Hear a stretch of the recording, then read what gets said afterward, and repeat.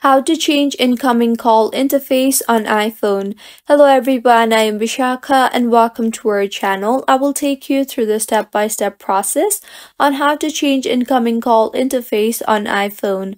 Now let's get right into the tutorial. Firstly, launch the settings application on your device and now tap on general and then on software update.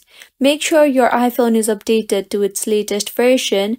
If not, then go ahead and update your device further. Now, in settings itself, scroll down and tap on the phone option and now under allow phone to access, tap on the incoming calls option.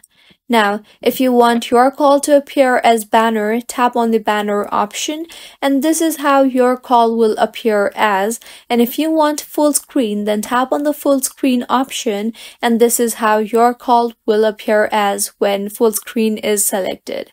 Remember that phone, FaceTime, and other apps you use to receive calls will use the selected display style depending on what you have selected unless you change it again. And this is how you can change incoming call interface on iPhone. If you find this tutorial helpful, please make sure to like the video and do subscribe to our channel for more contents like this.